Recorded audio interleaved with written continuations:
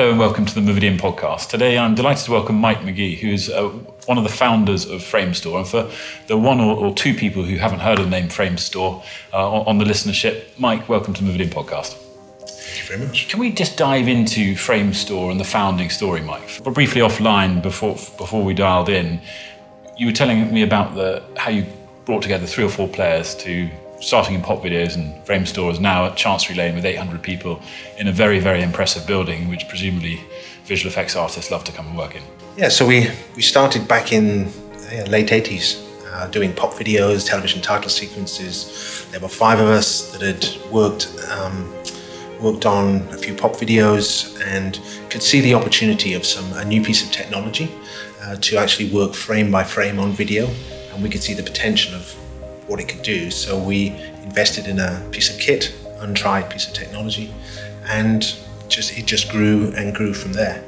And as you say, 32 years later, uh, the original five are now.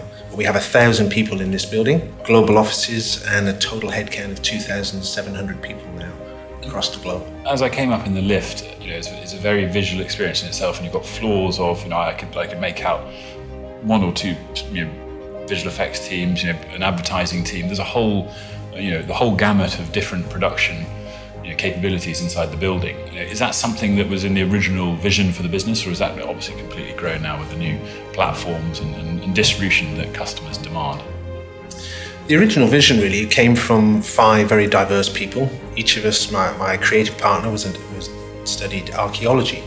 I did graphic design. So immediately, a lot of the people that were coming into the industry were coming from all sorts of different diverse backgrounds. Today, we still employ a huge range of, of skills. So we have physicists, mathematicians, computer scientists, and coders. And we team them up with people like myself as a graphic designer. We have fine artists, photographers, writers, and directors all under one roof.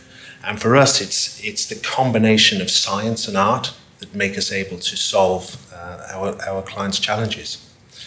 You know, obviously, over 32 years, I mean, brand value is such a huge you know, part of the game in, in this business, and, and, people want to be associated with the Framestore brand, whether that's an individual artist at the beginning of their journey, or whether it's a you know a, a movie studio that wants you know, the, the added collateral or the added value of that Framestore name. How, how has that helped open doors? Well, the, the, the heritage we've built up from um, winning awards, from taking on challenges that need genuine innovation. I think that's that's our key uh, differentiator is the fact that we take on the impossible jobs and we find solutions to them. And because we've we've built a track record of doing that and, and been very successful at using the constraints of deadlines and budgets to come up with creative solutions, clients come back for more and more of it. It also attracts talent. So talent want to be working on the most groundbreaking piece of work or the most high profile piece of work. So making sure that you're constantly working on projects that have that profile, that give uh, the rewards back to the very talented artists that we have is really important to our business. I mean, the, the show reel um, is such an important thing. You're only as good as your last film or your last piece of work. And, uh, you know, I suppose that, um, you know, in a world that is so moving fast, so moving forward and so quickly, you know, there's there's lots of different you know, t- techniques, types of productions that are required, and and uh, you know, we were talking offline about influencers and people using mobile phones and actually distribution on iPad and phones. You know, how how is a business like Framestore geared to deliver for that new generation technology? Well, we used to have a, a, separation between film and television because they were two different resolutions. The resolutions now have, have all merged together, and really it doesn't matter whether we're working on a, a small uh, flat screen the size of a telephone, or whether we're working on a giant outdoor screen, or whether we're working in the worlds of virtual and augmented reality, where you have a full 360 degree canvas to work on. You still need good stories, you still need you still need memorable and arresting imagery to create. Uh, and I've seen this in VR uh, with the biggest impact, creating genuine first-time experiences for people.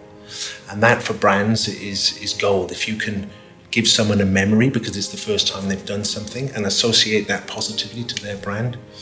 So what we're what we're finding is that we're putting people's skill sets from um, feature films and from creating cinematic visuals into um, generating solutions for mobile platforms or tablets and creating, again, groundbreaking pieces of work. So, you know, a project like Gravity, for example, will, will, will draw in, you know, global brands wanting to work with the business. And, and does that bring its own challenges of, of, not having that intermediary sort of agency context or, or account handlers wanting to get closer to the production? And there's, there's an interface there which is you know, typically been a challenging one. Yes, um, we get a lot of uh, brands that have their own creative teams in house that will see a piece of work we've done and approach us to do that. Um, we've had uh, we've had quite a bit of success working direct to brand. We now have categories of work that we call direct to brand, um, but along with that also comes the challenges of how you handle that work.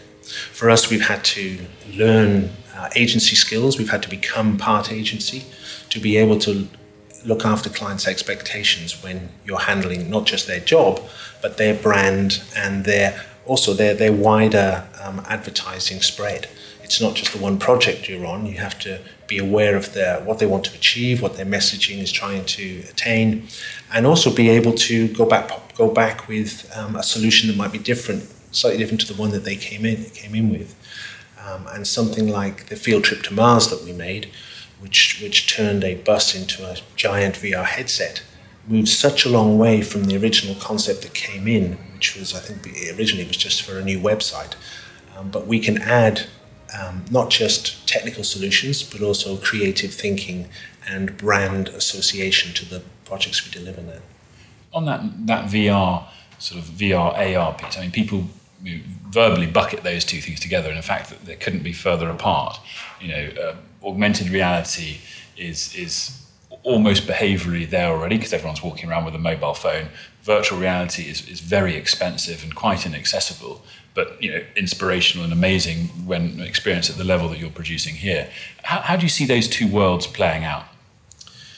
I think VR and AR at the moment are very they're, they're very separate in that at the moment you put a VR headset on, it blocks out the world. It's a singular um, experience. AR brings CG or, or um, artificial elements into the real world, and whether you're in a headset or whether you're looking at it through a, a device, um, it, it, it's bringing things into your world. For us, I, I, I think there's a crossover. Um, mm. The Mars bus was a great example. It was 30 people uh, with, a, with, a, with a bus that was turned into a giant headset. So it mixed augmented with uh, virtual realities. I think uh, the potential of putting a, a, an augmented headset on and going to a concert where things come off the stage or are actually happening around you, um, again, provide another another way of um, consuming content that we that we haven't even considered yet and and the blurring there will be a blurring of what is VR and what is AR because in an AR headset you can actually block out the real world and make it VR mm. and then it's just how you design the experience. I mean, in, in fairly layman's perspectives, um, AR is sort of involves quite a lot of movement because you're moving around the real world and you're, you're, you're experiencing you know Astons or content or animation inside the world, whereas VR you're, you're stationary. So arguably, one of them might lead to more couch potatoes, and one of them might lead to thinner AR engage people. but I think I think no, I, I wouldn't agree with that because I think some of the experiences we've made in VR, right. you can walk around a VR environment. Okay. You don't have to be limited sure. uh, by where you where you're. It's what you see. You can. So there are um, companies like the Void yeah. that that make flat surfaces and you can reach out and touch these surfaces whilst you're in a virtual world. Sure. And there are real objects that match up with what you're seeing and then you can move through. I suppose the accessibility piece, though, the, the cost, the cost of that equipment, and, and the accessibility. Whereas, whereas, everyone's got one of these iPhones or Android devices in their pocket and, and can participate in the, the you know, I, I find if I liken, I have likened in the past, um, you know, AR content to uh, space junk. It's kind of out there, but you don't really know, you know, until you've got your lens up in front where, where it is, what it is. Or if you're in a museum, you know, yes. I want to you know, have an interview with the artist, etc. So there's there's so much, uh, you know, there's a whole new world of content that is actually currently invisible, which I understand by 2020 is going to be a 108 billion dollar business, and so there's going to be a content there's going to be a content surge to fill that market, and that's probably something you're gearing to, you know, preparing to, to, to, to deliver for. Yes, very much so. We, I, I think for for children going to museums or institutions, art galleries, the the opportunities to make them much more immersive and exciting is, is huge. We we did an experience for the Natural History Museum where you can download an app to your phone, put your phone in some Google Cardboard, and then school children point at the dinosaur bones on display, and then those bones get covered in blood vessels, muscle tissue, skin, come alive step off the off their exhibit rostrum and walk around you. And, I, and, and you see the kids' faces. They, they, they don't care whether that's virtual or augmented, mm. whether how they're viewing it. They're just having an amazing an amazing time. So I think that's that's what will happen for the generation. I think that will naturally consume this material. Is that it'll just be there. Yeah. They won't be separating yeah. what platform it is. I mean, the, the, the process of experiencing that content is so amazing and, and and sort of inspirational. And it's so far removed from the process of making it, which is incredibly painstaking, filled with uh, technological and hardware workflow. Um, but at Movidiam, you know, we're, we're big on people solve workflow problems. I mean, obviously you need the technology and the hardware and the organization, but actually it's people. And so perhaps we can move on to the people in your team and what sort of backgrounds they come from and, and how you over the last 30 years you've identified the teams for the projects that have come through the door? So we, when, when we look at employing uh, new people, we're looking for somebody that today is. We used to look for people that were specialised in doing one thing. Now we're much more about finding a T-shaped person. Yeah. So someone that has a broad range of skills, that has a broad range of interests as well, but is able to drill down into something uh, when when required. So when we're putting a team together, often the influences that come to the table, to the ideas part of the project at the beginning, the problem solving part, are very diverse. And we will have mathematicians and physicists alongside designers and animators. And it's, it's the clever combination of, of those people's skills and their ability to communicate their ideas as well. I think communication is still 70% of, of what we do as, as a business, even though people think of us as a technology company, is being able to talk about your ideas, to um, understand a brief, and then to be able to share your thoughts back with the rest of the team or, with an external person that pushes that project across the line, makes it understood, and then allows your team also to work together to, to find the best solution. I mean, T-shaped people is probably a reflection as well of, of, of the platforms and the number of different types of deliverables that, are, that are required. And you know, obviously specialism is incredibly important. I mean, you know, you, if you if you go into any sort of behind the scenes of, a, of, a, of a, your productions, you, you see this remarkable detail and deep dive into you know, green screen technology, the visual effects, the depth and the work that goes into you know, reflect reflections, the water, all, all these things that the viewer takes takes for granted. Can you tell us about the time frame that one of these big big executions takes? So, for example, a gravity, the, the sequence in gravity or a sequence in Paddington. The timeframes of projects obviously come down to the amount of complexity and whether you're being innovative, where you have to step away quite often from your computers. So, on a movie like Gravity, we literally have a team of artists that will create the visuals. They sit at a computer and they look through the portal of a screen and create uh, worlds within inside the computer. But to achieve some of the effects, we had to step away and design and create pieces of engineering that could allow us to capture the live action material in a certain, in a very accurate and um, certain way. So we converted a car manufacturing production line robot into a high-speed motion control camera. We built a specialist body motion simulator that could move the actors, uh, but be driven by our animation data from CG. We also built a 360 degree light box with a ceiling and a floor and four walls to create a new interactive way of lighting the talent instead of shooting them against a blue screen. So each of those solutions was a combination of engineering, software design, and people yeah, building a physical piece of apparatus or adapting a piece of existing technology. So that's something we do more and more, which is to, to take our uh, clever thinkers and design physical pieces of equipment to help us achieve the best effects. I think in, in that, that, physical garden, it is remarkable. It's, it's almost robotic on some of these huge sets now. But you also begin with the visual effects domain to get into this artificial intelligence space and you know, machine learned machine learning space, which is which is you know doesn't terrify me as much as it terrifies others, but because it takes the heavy lifting and the time and the render time out, because you know, it, it's repeat work, which at the moment is being done by an expensive human being when it can be done by you know probably at the moment an expensive machine. But but how is AI and artificial intelligence lightening the load? For, us at the moment, AI is still not a tool that we're using very much because um, a lot of a lot of what we do, as you say, is it's it's people driven. It's large teams of people. Even if they're drawing around Sandra's outline like they did in Gravity, mm. we had this wonderful way of lighting her, but we still had to cut her out. And and a project like Gravity took four and a half years to finish with a team of 400 people. So you're right. If there was a way that we could reduce those numbers by automating some of the simpler processes or some of the more automated processes, that would be fantastic. Mm. And that's what we're looking to do is to be able to find a way to, to have AI take some of that more mundane work out of the pipeline and then free those artists up to do more of the creative uh, thinking and creative problem solving that we'd love to have them do. Mm. Uh, at we use an ex- expression which is "stories make us human," um, and you know, telling authentic stories is increasingly important in, in a very, very noisy, uh, you know, online connected world.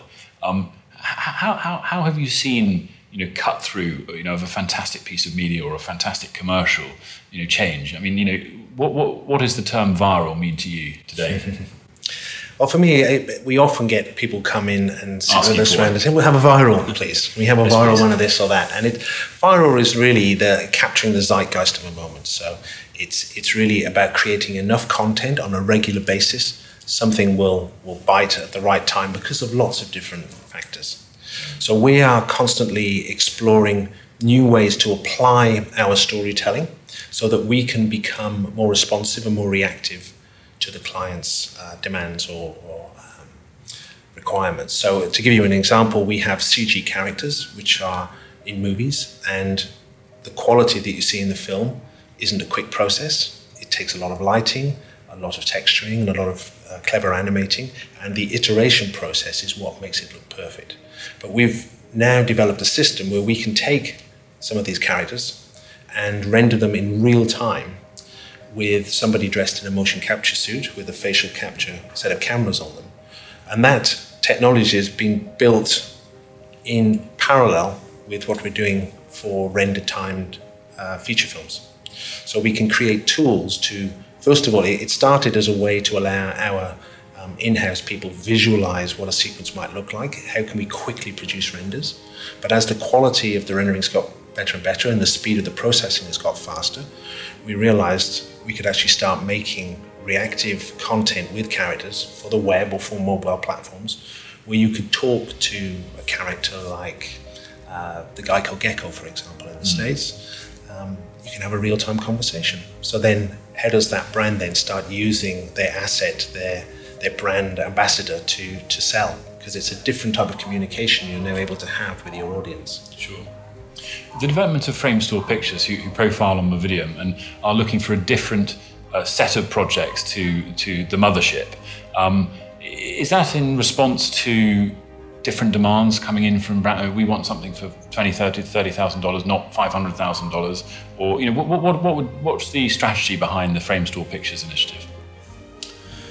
So our live action division has come out of the fact that a we have an, a requirement internally, often to shoot uh, motion capture um, footage or to shoot reference material of actors giving us performance that we will then replicate on characters. Um, and, and then alongside that, we also have a requirement for our creative people to, to, be, to be able to be creative, to express themselves. So someone like myself who started on the box as, a, as an artist, I then left the box to assist directors shooting things properly, worked uh, in commercials, television long form, then feature films, and I've stood alongside some of the best directors in the world watching them work.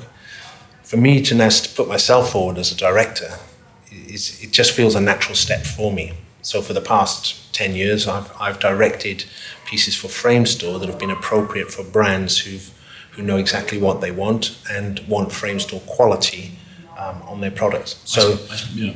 So Framestore Pictures is is an opportunity for in-house people to to be, become directors. Um, but it's also an opportunity for brands to approach us with a, an, for an end-to-end solution uh, with Framestore quality all over it. And, and you've seen you've seen some uh, success on the Movidiam platform. And I suppose it's using the latent capacity that is in, in, the, in, in the bigger, wider business when, you know, when presumably those, you know, larger teams aren't worrying the whole time with big Hollywood productions. And so you can use that capacity on the Framestore Pictures projects, you know, and, and, and, and do a bit of a cost arbitrage across the equipment and, and ameliorate the cost there. Absolutely. I think the success, as I say, the success, our success is built on putting the right teams together for the right projects and giving, providing an end to end solution where we can um, work with a brand on uh, a script at the, at the earliest possible stage, or we'll, we'll help write a script. Someone like myself could direct it, and then I will find the best team out of the people that we have to execute that. And you're right, we can use that to, to fill gaps. Um, but actually, when we're working on an in house project, we want that to be the best it can possibly be. So sometimes people imagine that you, you might get a B team because we're, we're handling it in house alongside these other big projects. But actually, we put as much, if not more, care into a production of our own because it has our reputation completely stamped all over it. Sure.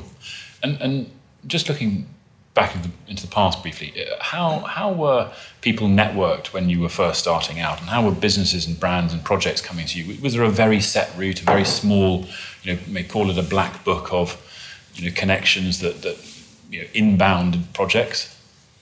Yes, well, that landscape yeah, has changed very yeah. much now, hasn't it? Yeah, well, when we first started, everybody was literally in a few square miles or in a square mile in Soho, and projects would come from who you knew, who you worked with last, and the same with our recruitment. We knew a range of freelancers that we would call on.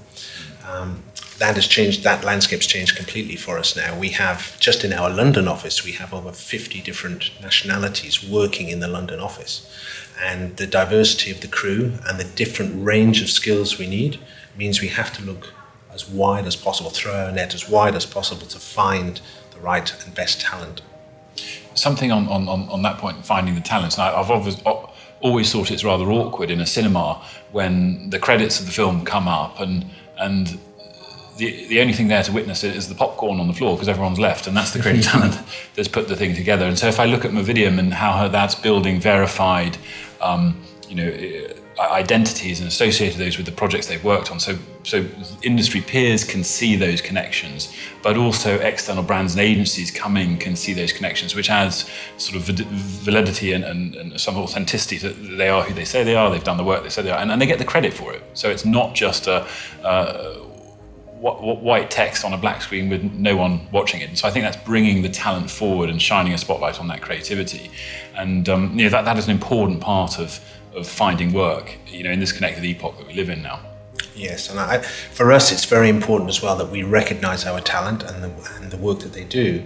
So even seeing their name 400 people down scroll through the screen is really, really important sure. uh, to our talent. So you're right, having a website that people can profile their their capabilities, their experience, and, and look and see what other people are doing as well, because it is a it is a communicated network, a LinkedIn network.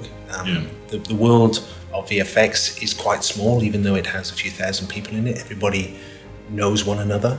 Um, but as the demands and different platforms grows, we also have to expand our connections and find new people to fill, fulfill the demand. So for us, as a business, that's that's what one of the things I identify as uh, one of the biggest challenges is being able to locate people with the right skills available when we need them, um, and often for a, for a, maybe even a small window of time to, to push something over the line or to to finish a, a project and and having the right core skills is really important. So again, finding a, a way to quickly find um, somebody with the specific skill you need, and then being able to um, to store that somewhere so that yeah. you because we come across so many we have so many CVs coming in well, I think the important thing on Movidiam is that it's the talent that's updating it, and of course that's only as good as their last film or the last piece of work. So, so it's a continually updating database, whether they're working here or working at a competitor or working in house at a brand, and it's it's it's the, the, a rising tide for everyone if you can see all the connections. Yeah. Um, Mike, really, you know, we, we, have covered a lot there, and thanks so much for your time today. But just, um, there's been some recent news about uh, investment in the business from, from Asia and from China in particular um, that is having an absolute resurgence of, of interest in uh, sort of technology and film content, uh, as you mentioned offline, a, a, huge middle class that's looking to be entertained. Um, t- tell us more about that dialogue and, and, that engagement. Well, China for us is, uh, we, we've always wanted to look east because there's a huge market um, of middle class people looking to be entertained. And they also want they also have their own IP. They have some great stories that they want to tell. It's not like the Chinese want to invest globally. They actually want to invest and grow their own properties for their own audiences. So for a, a company like Framestore, uh, their interest is to have us come in and help grow uh, a VFX community there that can service their um, their own requirements, but we see it as an opportunity to also grow a talent pool that can also benefit our global uh, workforce and make us a, a global powerhouse. Just, just one last thing as well about the, the creative talent, Mike. When you were starting out, the, the tools that uh, perhaps a, a, student or a new person coming in the industry you know, has been educated on in their teenage and adolescent years, for example, like Instagram, and Facebook. I mean, the, the, these are. I mean, Instagram has turned everyone into a photographer, right? And and and 20 years ago, very few, 30 years ago, 40 years ago, very few, you know, perhaps had access to some of these remarkable tools and the effects that they can do. So more and more people are perhaps starting off on a creative footing before they get into professional life. Are you seeing that, you know, the demand that is being called for by brands wanting more visual effects, more animations, etc. Is the talent there because of these creative tools that have inspired people to, to, to get into the creative business? Yes, I think it's much easier to to um, shoot something, to edit it, to put some sound on it. Um, I had a CV through uh, recently from a guy who was um, it was an amazing showreel, and um, it was sent to me from one of our heads of department. This is just one problem with this guy. He's only seventeen and he's, he's done this body of work in the last four years in his bedroom. He's completely self-taught, and I and I think there'll be more and more of that sort of talented person coming out of, of schools and out of their, their own environments as self-taught. And what we have to do as a company is juggle the experience of a generation like myself, um, harnessing the thoughts and potential and creative thinking of this younger generation. I, th- I think we're something like 85% millennial in, in our company. Sure. It's a very young young business, and some of the technologies like VR and AR, I think, are their new storytelling platforms. They will be the thinkers that have grown up with wireless music and wireless imagery that will actually come up with the way to tell stories on these platforms. So for us, it's it's a mixture of um, teaching communication skills, building the softer skills of negotiating and how to put teams together, and then harnessing that youthful potential. And, and, would you look to put that on a, a, a, that director, that young talented director, on, on a roster internally at Framestore, or would you would you represent him for a particular project, or how, how would how would that mechanic work? Because obviously these you know roster directors and production companies that roster directors, I mean, some would say are facing some challenges. Mm. Yes, I mean, I, I see it more and more now. A few years ago, when we were putting our own roster together, we had internal people, but then I would have people from agencies and people from production companies calling me saying, Do you have a position for me? Because we see the model changing. You guys make physically uh, deliver content, you make it. Um, I mean, I live in an agency world, and a lot of what I do, 90% of it never gets made, only 10% turns into something. And I'd love to be somewhere that's making all the time. So the model of, of how content is created and who's doing the creation um, is, is still evolving. But we, we see ourselves primarily as content creators and we look to become creative partners with anybody that's trying to make content. We will provide the different skill sets from directing through to finished post and we'll, we'll find a way to um, form a business partnership with anybody at any entry level. Mike McGee, um, one of the founders of Framestore, thanks so much for your time today in, in this absolutely remarkable setting in your Chancery Lane office. Um, perhaps you can send an invite to that 17 year old director from your Movidiam profile and help us build the network. Absolutely. Thank you very much.